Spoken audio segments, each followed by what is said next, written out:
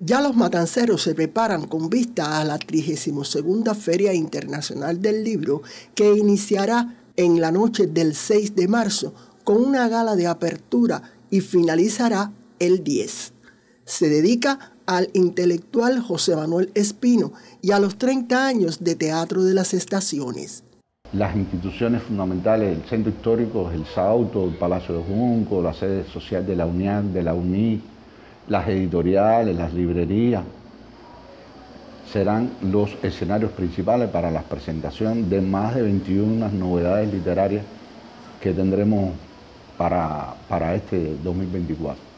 Y igualmente será el mozo Paseo San Juan Narváez el escenario principal para la venta, la comercialización, la promoción, las extensiones de venta para los stands de firma es decir, que habrá un amplio programa importante con la presencia de más de 40 organismos propios de la ciudad que se han sumado al evento literario, así como las 11 editoriales que tradicionalmente ya hace más de cuatro años, eh, editoriales extranjeras que están asistiendo a nuestro evento.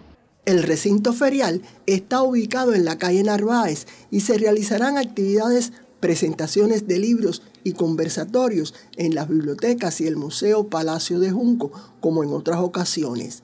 Habrá un homenaje a la mujer matancera en su día y un encuentro en el proyecto al sur de mi garganta de la calzada de Tirri 81. Ana Valdés Portillo, Sistema Informativo.